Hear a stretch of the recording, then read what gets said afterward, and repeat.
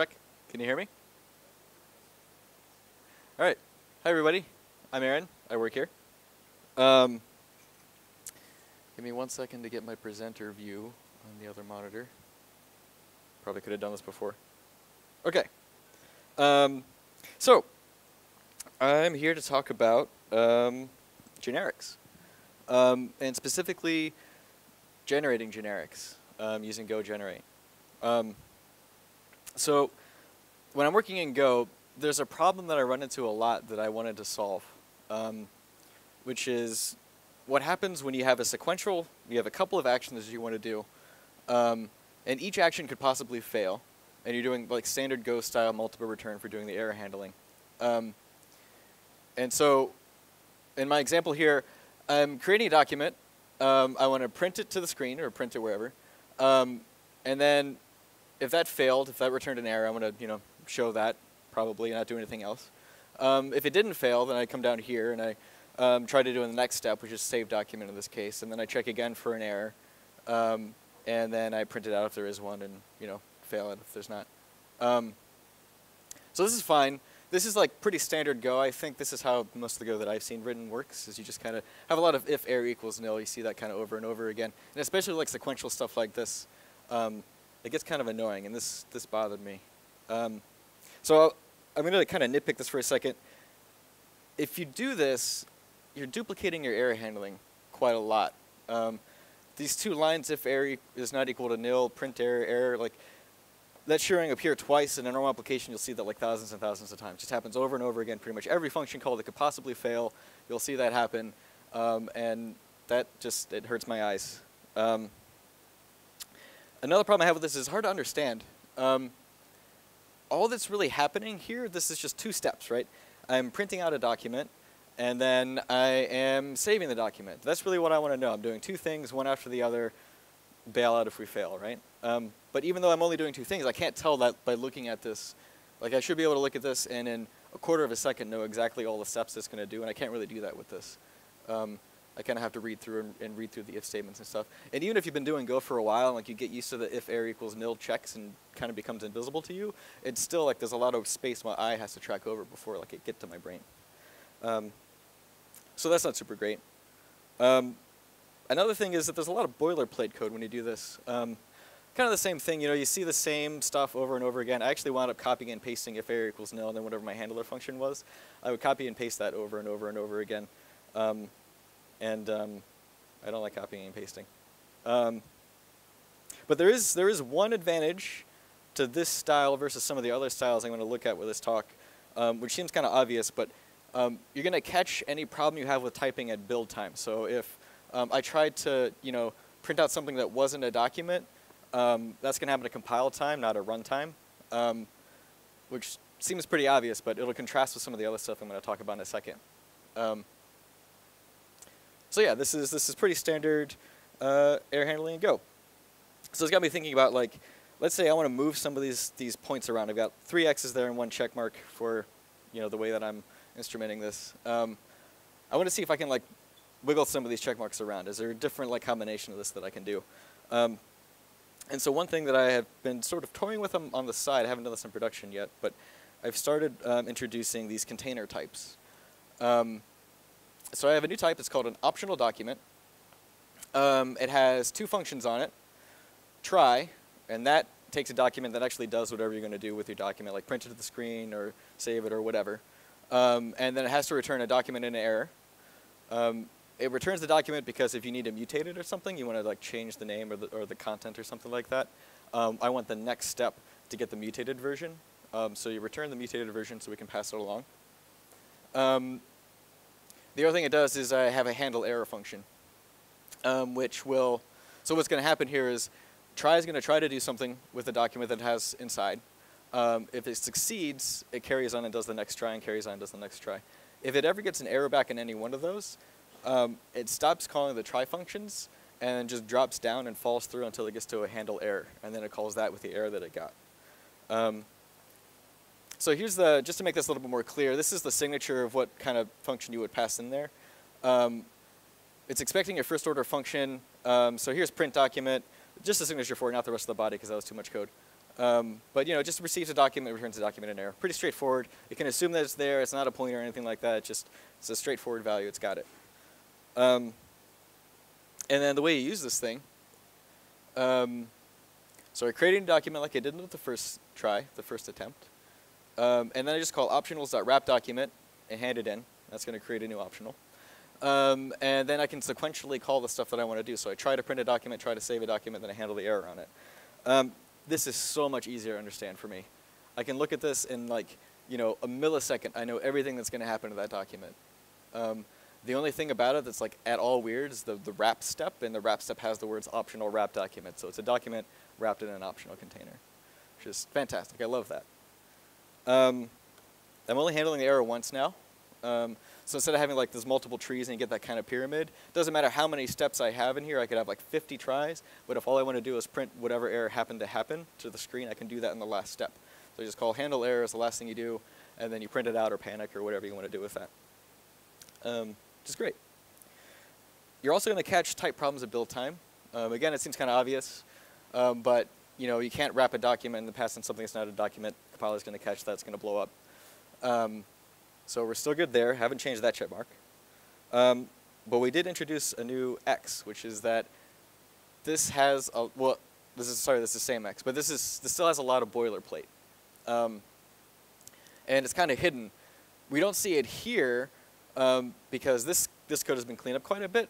Um, but the optional type itself, um, there's nothing about that thing actually knows what a document is. It doesn't need to call any methods on it or anything. It's just going to save it, and then it's going to call try with it, which means that if I want to wrap something else with an optional, um, I have to re-implement the whole thing over again, and it's exactly the same code. And the only thing that changes in the second one is that I change the word document to whatever my other type is, so optional string or optional entity or optional whatever. Um, so still lots and lots of boilerplate. In fact, I went up with more code. If you do this, you wanted more code than you had in the beginning. So we're not any better. Um, but at least like my main.go looks great, and all my other files look terrible now, um, which makes me happy. I like that.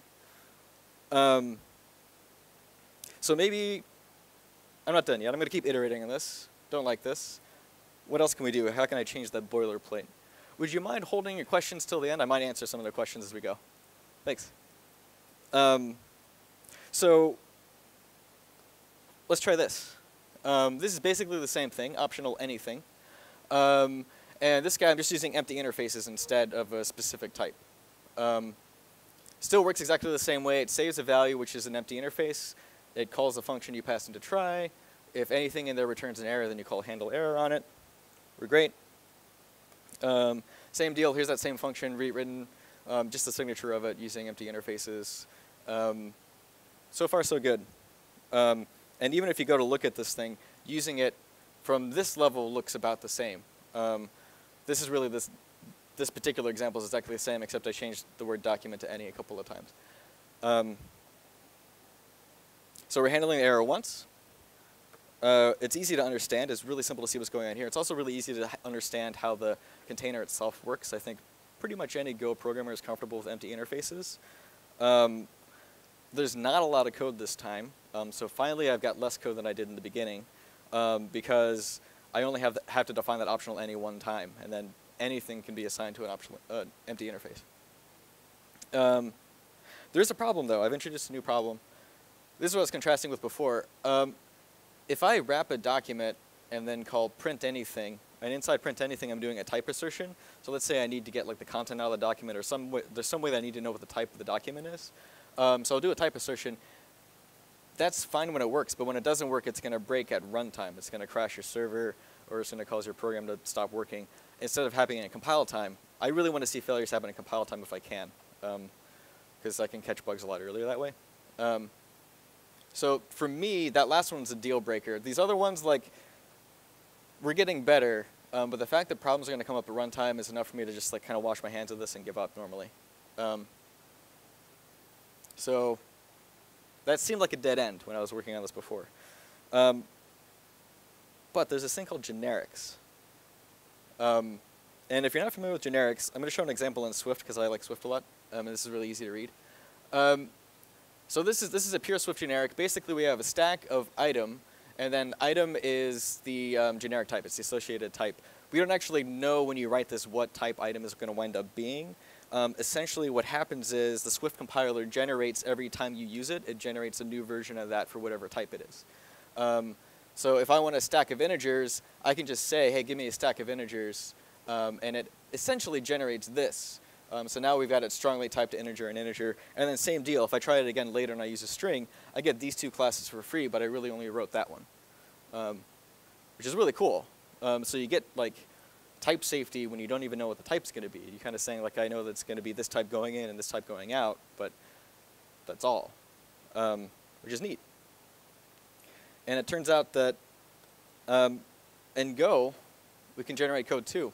Um, so this is Go generate. This is a comment that you would put like in your source code file. Um, and there's not a whole lot to it. Um, this is just taken straight out of the source I used for this talk.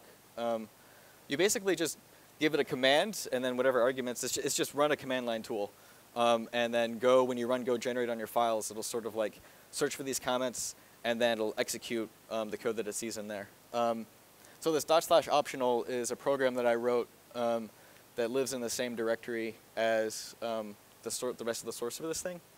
Um, and then the document is just the just an argument to that command. And what this does is it takes a template. Um, and I used ERB for this because Ruby programmer, guilty. Uh, did this on the plane. It took me about five minutes in ERB. I spent half an hour trying to figure out if there was a Go template I could use for this, and I gave up. Um, so I use ERB for it. I'm still okay with it because you're, you're still going to catch everything in compile time and stuff. And you know, use the language for what it's good at, and Ruby's good at generating stuff. Um, so yeah, this is a template for an optional of any type, and this looks exactly the same. If you look back at um, the Swift version of this thing, um, it looks pretty much exactly the same as stack item, except we've got like a percent equals, and that's the only thing that's different. Um, so we've got less than percent equals item, and then percent close, and it's just ERB. Um, so all the script does, basically all the script does, is it just takes document and subs it in for item in here. And whatever types you put in there, you can have it sub out for. Um, and so what I would do is if I need an optional of some particular type in a file, close to the top of the file, I just put a go generate optional and then the type that I want to have an optional for. That's all you have to do, but now it's going to be available when you run this. Um, and then using it, um, when you're using this thing, you use it exactly the same way that you would have used the strongly typed one in our first container example. Um, this is actually just copy and pasted from that, except I changed, you know, two to three, except for two places where I just realized I had a typo. um, so yeah, using this thing is exactly the same as it was before. Um, so you still get all the benefits you had before. Um, you're only handling the error once. Um, there's not a lot of code because we're generating everything. The template's the only thing that's new. Um, your problems are still caught at build time. Even though the generation is done in a dynamic language, I'm still uh, have to compile everything that, the, that gets generated, so I'm still catching all my typing problems when I build. Um, the only problem is this is a little hard to understand.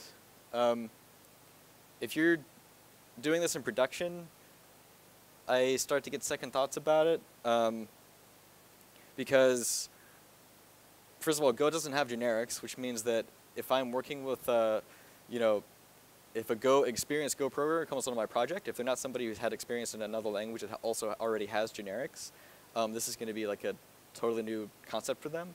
Um, and if they're not familiar with like all the gotchas that you might find in compilers of other languages, then you might be tempted to do some fancy stuff with the template generation version, um, which you know is kind of a it's a garden path. Like you get to the end and realize you have to turn around, um, which I, I did a couple of times working on this talk. Um, and then if you if you go back and look at the source for this thing, um, you know, it's it's a lot harder to to read the one thing. Like this case is pretty trivially simple, but if you're looking at the actual source thing code for this, every single line has one of these eRuby um, stamps in it, um, and it starts to get to be like a lot of mental overhead to parse that. And so if you have to work on the actual template, um, it's pretty hard to understand. Using it is fantastic. Using it is like a joy, um, but working on the template itself, you know, giant pain in the butt.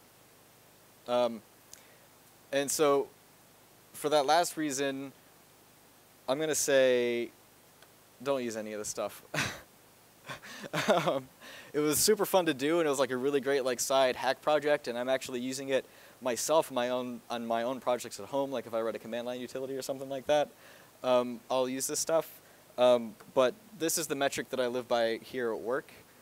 Um, and uh, using templates in Ruby to generate a generic type in Go really falls on the right half of this diagram, I think.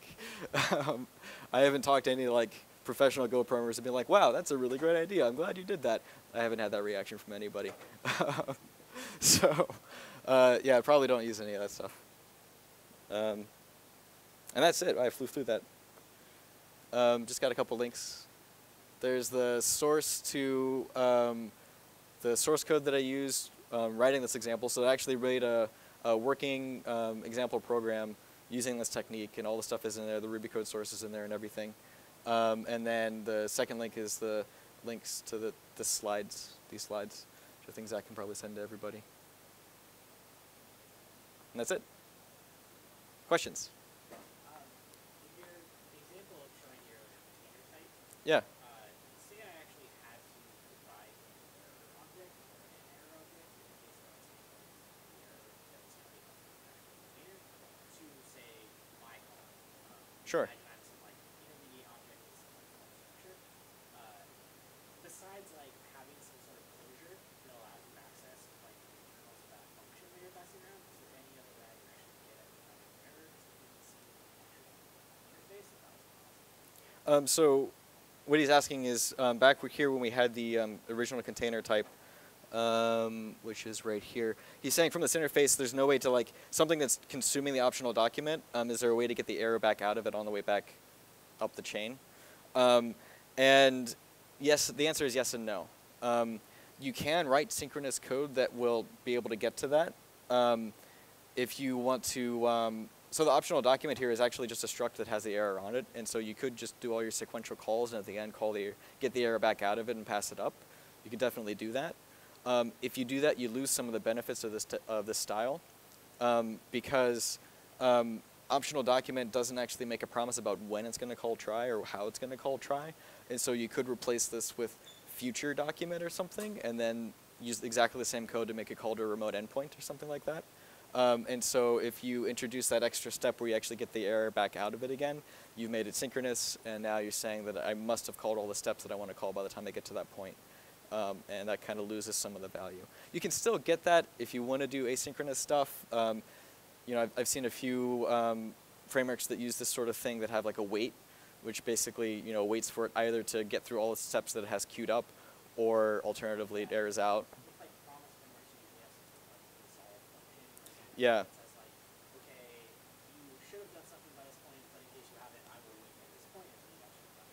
Yeah, he's saying if we're using a promise framework, you can usually you can resolve a promise and then you can wait for it to have a value available or not. And you could certainly do that with this. Um, nothing's stopping you. I haven't done it um, in the source for, for this thing, um, but you could. Any other questions? Yeah. you walk through the pros and cons. Yeah. And then over Yeah. So like, what, what, what's your fallback? What's my fallback? Um, so yeah, my fallback is the principle at least surprise, um, which is not great. But there's a lot of ways you can rewrite this so it's not as bad. I kind of made it contrived here to make it look bad. Um, so I mean, you're still going to wind up doing the same, basically the same amount of error handling you would do, but you could flatten this out and you could have guard statements after each step and that sort of thing. You're still going to have a lot of boilerplate, which I don't super like, um, but it's going to be pretty straightforward for the next guy um, or girl. Um, so, um, what's that? Oh yeah, you're saying this is pretty much how Go programmers do it now. That's been my experience so far. I don't know if anyone else has had a different experience. Um, but you know, like you could, there's a lot of stuff you could do to make this a little better. But ultimately, you're still accomplishing the same thing. You're just moving it around a little bit. This is like this is the essential complexity of the problem. Any other questions? So, so the, uh, the way that you're supposed to handle doing things like uh, sorting and I forget what the other console example is in the Go docs. Uh, Stringifying? yeah, stringify. There you go. Uh, so I mean that's doing not the same thing, but similar kind of idea, right? Generating code and placing it in a template. Mm-hmm. Um, so in the absence of, of real generics, I mean, th- so this looks Okay. It's actually something really simple. Cool. Um, and it's a huge time saver for us. Um, I'm wondering like where it came, where you came to the conclusion like this is a bad idea. Don't do this. Uh, the place where I came to the conclusion is that that, that you shouldn't use it um, is when um, we get to the part where um, I show someone the template. Um, and my, my templates start to get more and more complicated as you start to add more features. So like one of the things that I, I don't want to have to do with this is um, define a getter twice. Um, so like if all I want to do is get a value out of a document and I have a string available for the next step, um, I would call try with the document have that thing return a string and that'll return an optional string and that's how I go to the next step. Um, generating stuff like that makes it way more complicated to do like the map from one type to another type. Um, and so I wind up doing stuff like um, if you download the source to this thing, um, my template function actually takes more arguments than just the type. You can give it like functions that you want to do a straight pass through that'll do like an asynchronous call through, um, stuff like that. When you start introducing those convenience methods, it starts to get um, pretty hairy as far as complexity and like reading and understanding stuff goes. Um, and so I guess I pursued it all the way to that point and gone, this is kind of too far. So when you when you say that it gets hairy, like understanding it, you're saying it gets hairy understanding the template, not the generated code. Um, yeah. Oh well, I can. I mean, the code that I generate, I can write. It just it would just take me forever, so I can just write a program that generates code. When is it that I would generate code is, if the code I would generate is async code, I would, I would basically the same code I write over and over, I can count generate it. If the code I generate using template is complicated, that means I won't, well, that's kind of where I Well, go. what is the complicated part? Is it reading or is it reading the Go that the ERBs generate? Um, I suppose it would be reading the Go that the ERBs generate. Okay. Um, it's not insanely complex. Well, it can't be any more complex than the ERBs. Yeah, it's not. It's definitely not more. It's Yeah, be less it must be. Yeah.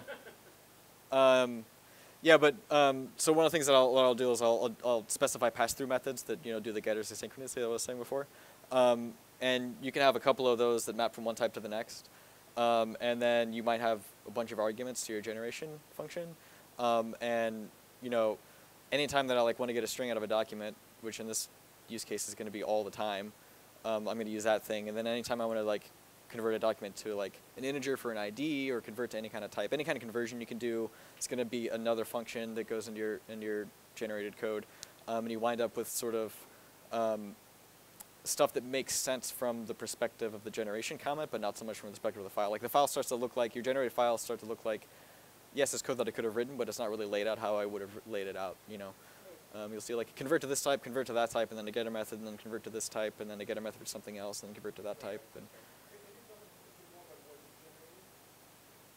Yeah, well, so we're doing uh, all of our communication with uh, another service happening over with Protobus, and we have like 2,000 plus unique commit types, and so uh, and those are versions types.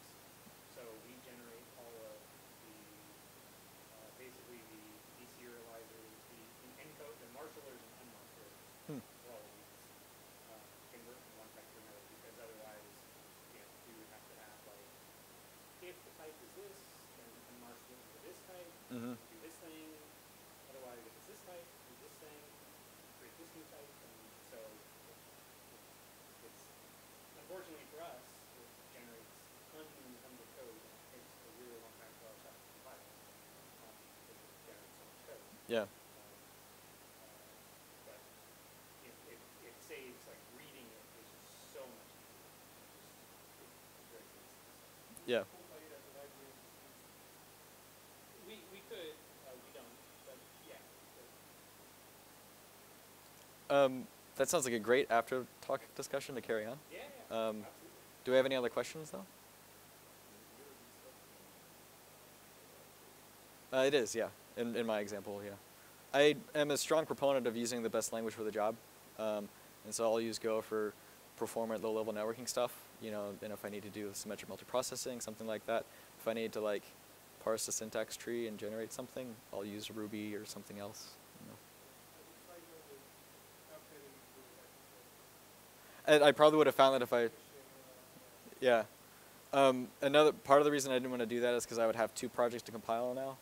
I'd have to compile my generating stuff, and I have to make a tool to work the way that I wanted to do it. So I, I did actually make the tool that does the generation, um, and that's like 10 lines of Ruby or something like that. And I felt like it was okay because I still got the same compile time protection against my stuff being right, because if my generation was wrong, it just won't compile anyway. Um,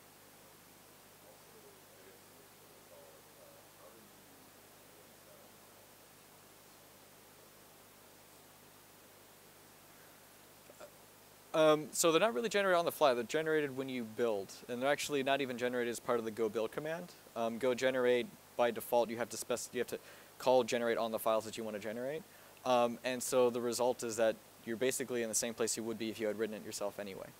Um, it's just that you would do the generate step before you do any static analysis or anything else. Any other questions?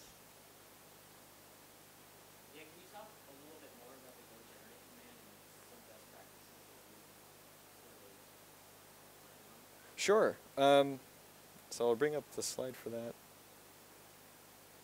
If I can find it, there's. Um, so best practices for the go generate command. Um, I can't. I didn't find a whole lot on this. Um, the number one practice that that seemed to be seems to be agreed on um, is that your consumers, if you're writing a library or something, your consumers should not have to run go generate. In fact, it should be transparent to them. Um, so, and that's why it's a different step than the go build command. Um, so like if I if I go get somebody's code, I'm, I'm expecting to get the generated version, not the version that has the templates in it. Um, and the reason for that is, uh, my understanding of it is that your generate tend to be pretty finicky, and you lose some of the protection you get with Go. So if you have all this build protection around um, building the right thing, that means that the person who does the generation has to build it and make sure that it works. So if somebody is consuming your library and they have to run Go generate, um, they might encounter a problem with how the generation happened that you didn't anticipate, and they're kind of, you know, out of luck at that point. Um, so if you have Go generate it, you want to generate yourself. You don't want the people who use your library to generate it instead. Um, and then besides that, there's just kind of a lot of gotchas. Um, I haven't seen a lot of people use it, I think, because of the gotchas. Um, like, it's not clear that it's actually just running a command line tool. If you read the Go doc on it, it says it runs Go tool something, and it seems like it's Go specific, but it's actually, you know, it's just a command line execution. It's just in your shell. So that brings all of the um, shell execution problems that you might expect, like, you know, if you're depending on env variables or something like that. Um, how do those get there? You know, when are they set? Um, and um, and then even output like um, this script that or this optional script um, nothing about the go generate tool knows where the file should go like it doesn't know what file is being run from and it doesn't know what file it should output to um, so my optional script just infers the name of the file you want from the type that you pass in um, there's no way to like introspect and say like oh i'm generating a document i want to go on this thing so if you like um, want to change your directory structure of your generated files or something like that you really want your um, script to be able to handle that. You don't want to have to pass it as an argument. It's lots and lots of little, gotchas like that. And I think that's why I haven't seen a lot of people using Go Generate. Uh, so you actually just made me think of something else that I want to ask. Yeah. Sure. Uh, so if you're using um, a relative path like this and you go generate dot dot dot dot, do you know does that actually it work with a, a relative path? It works relative to the file it was run in. So, Yeah, okay. yep. Okay, that would work. mhm. Uh, then um, the, the question before actually sort of uh, got to this was uh, if, if this was not a library that's being shared, do you condone generating and including, or you know, like committing the generated code, so to speak, or having it generated like at build time? Um, so he's asking would I commit the generated code or would I commit the generators and, and then if you're going to do the build. Right, I, the library makes sense one way. yeah.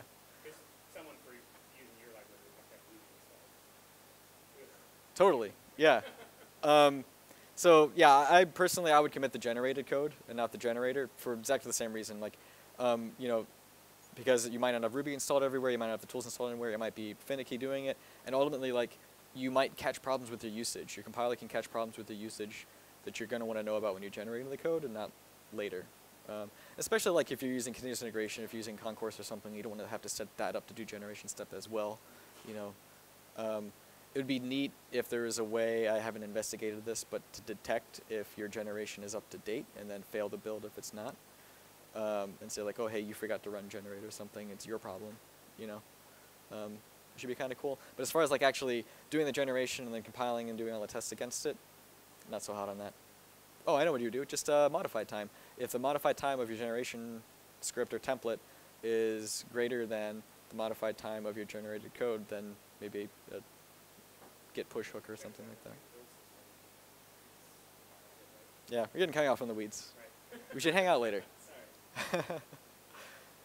Uh, more questions? What's up?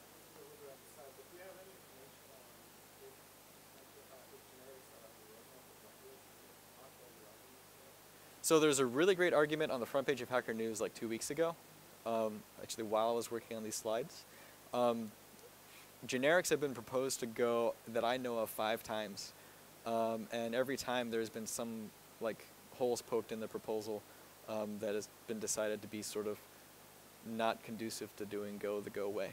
Um, so my gut feeling is I don't have any more information than anybody who you know was on Hacker News last week. Um, but my gut feeling is that they're on the way, but who knows when. Um, if this last proposal goes through and everybody likes it, then it could be as early as next week. Um, if not, then it could be, you know, indefinite future. I don't know. Um, a lot of things are up for debate here. Like um, to show an example of kind of the problems that you run into with generics and why it's like maybe slow coming. Um, I'm gonna hop back to the Swift example for a second. So this is this is a really trivial example, and, and I said I kind of qualified this when I was talking about it. This is sort of generating a stack of integers, and if you were using it exactly like this, that's actually what it would be doing in Swift. But if you say in Swift, you can um, you can say that item conforms to uh, an interface, for example, um, and then if you did that, then it would actually do a compile time check against the energy being passed in and say it conform to the interface. Everything's great. But if the interface that you pass in itself is generic and has an associated type, Swift goes, I don't know what to do, and it falls back on not generating the code at compile time, and it actually um, constructs, it basically does the same thing you're doing with the empty interface before, but it does that at runtime now, and it doesn't tell you that it's opaque. Um, and that's the kind of thing that the proponents or the opponents of generics in Go are wary of. Um, and so part of the argument is like, okay, if I can't say that the thing that I pass in here has, these are called, um, I forget what they're called, but the way to like narrow down exactly what the item type is going to be. Um, if I can't do that with the generic, then aren't I cutting off like half the functionality, half the reason to have generics in the first place? And if that's true, then why even do it? You could just use go generate. And so that's the state of the question as far as I understand it. Um, does that answer your question?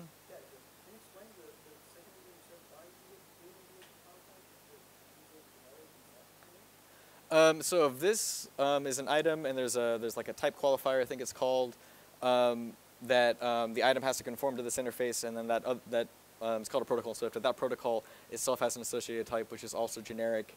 Um, you wind up with I think the Swift compiler just refuses to walk every walk the tree. I think is the argument for it. I don't quite theoretically, a compiler could do that, but um, Swift was recently embarrassed on Hacker News uh, when somebody wrote a literal dictionary that took 12 hours to compile. um, and it's because Swift, the Swift compiler was doing type inference and it was doing it recursively. And so it did actually compile, it just took 12 hours. And so I think this is one of the cases where it's just like, nope, not doing that, sorry. And then you wind up with unexpected behavior at runtime, which is kind of a bummer.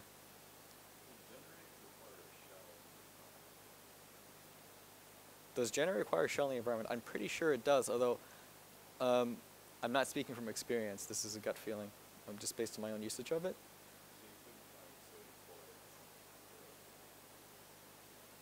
You probably could do Heroku, because Heroku has a transient file system you can actually access.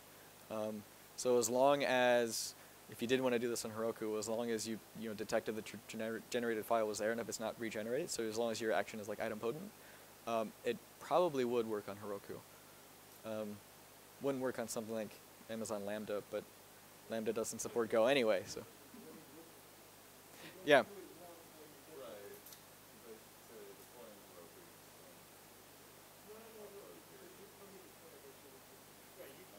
Yeah.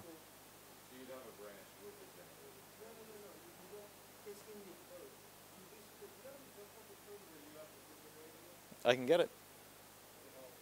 Yeah, I, I think it's good considering that it's within the source code, you have this call on top of that generates uh, like check-in code. Right. And so that's, that's about it. That's the rest of it.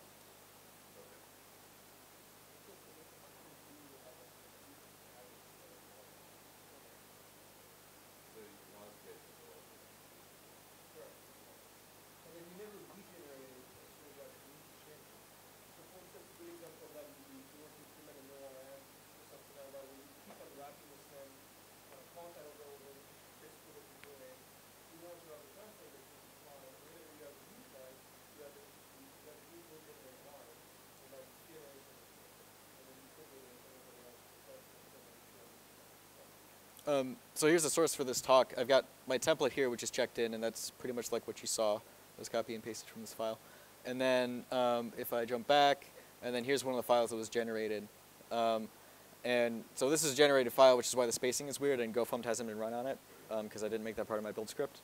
Um, but this is checked in, and so um, if you wanted to use any of this stuff, you would pretty much just pretend that it wasn't even generated. You wouldn't even have to know that it was generated. And same thing would happen with Heroku or whatever, is you, you would check in the generated stuff. Yeah. Um, I put it in main in this case, this tiny little thing. Um, so I just have the generate um, right there. It's just a comment. Um, the reason I put it in main is because I wanted it to be as simple as possible. I just go go generate and then main.go and I get all the generations I would need. The original version of this had more stuff in it, and I was this is too complicated, and I trimmed it down a little. Sure. It'd be five dollars. Um, this, this is all open source on GitHub. I actually been meaning to put a license on it if anybody actually wants to use any of it. I Put MIT on it or something. Um, yeah, so th- uh, this is just Ruby. Um, we grab the first argument, which is document. Um, we infer that we want entities.document. Our odd file is going to be optional slash name.downcase. Um, and then the methods part is for those uh, call through methods I was talking about. So I want to have like an asynchronous version of a synchronous function. And so all the subsequent arguments are the asynchronous, fun- asynchronous functions I want to make. Um, and then I just load up an ERB file, um, get result with binding. So that just means make these variables available inside the template. Um, and then I open up the inferred out file and write the contents to it. Um, and then also iterate, do the same thing for all the methods that I was interested in delegating. The the Go stringer? Uh, sure. Probably. I'm not going to Google in front of everybody though. That would be weird. Use a browser you don't know. Yeah. Um,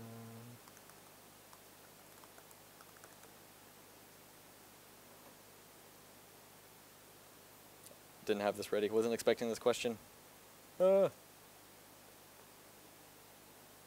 Okay, I can't find it in three seconds, and I'm not going to stand here and Google while people are looking at me. That would be. Everyone else can Google. Yeah, you can Google. Look up the stringer Go generation stringer example. Yeah. Can you talk a little bit about tests for your generator and also your code? Test for the generator and the code that gets generated. Um, so, what I do and what I would do, I didn't actually do for this. Um, so you know, don't tell Pivotal. Um, but what I would do if I was using this thing um, is, hopefully, I don't know if Ginkgo has shared examples. Um, I've only used GoTest before.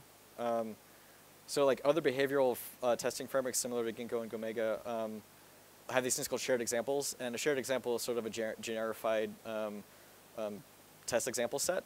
And so I would write um, a shared example set that matches the template, and then include that in any in tests for the concrete types, if that makes sense. So I would almost have like I would have the one template file that's generified, and then I'd have shared examples which are generified, and then when I make the concrete implementation, you'd get both. Um, so you'd get the concrete test for the concrete class. Um, the reason for that is um, there's a lot of stuff that I might want to do um, that I could do um, that would change functionality between the different optional types. Excuse me. Um, so like one example is like if there's some specific use case I'm, I'm doing a lot with one of these optionals and I, I want to like extend it or something like that, for whatever reason, I want to have something that's a little bit different from the generated version. Um, I would want my test to reflect that the implementa- implementation has changed, and I would want that to happen for every example. So like another approach you could do is, and what I've seen done in similar cases other places is, um, someone will make like an abstract class just for the test example, and then, um, you know, in this case I would maybe like generate an optional foobar, and foobar is something only exists inside my test case, um, and then just test that that does what I expect. The problem I have with that is that if any one of your other optionals differs from the template for any reason, it's going to blow up. Um, and it's going to sneak by your tests. Hypothetically, you should never run into that. If you're doing that, you're doing something even weirder than generating code in the first place. But in practice, I just sleep a little bit better if, you know, it's actually tested somewhere. Um, and then as far as testing the, the generator generator itself, um, you know, eh, like does it compile? Um, does the thing that it generates pass tests? If those things are true, what tests could I possibly write for the generator that, you know, now, now, if I had like a more elaborate generator, that like you know syntax tree walking or something like that, and like type inference or something, then maybe I would be interested in test driving that because it's gonna have a lot of stuff I can unit test. But ultimately, like you got that one big honking integration step where you generate and compile, and if that doesn't pass, then you know something's broke. Does that that answer your question? Cool. Anybody else? Alrighty. Thanks, Thanks everybody.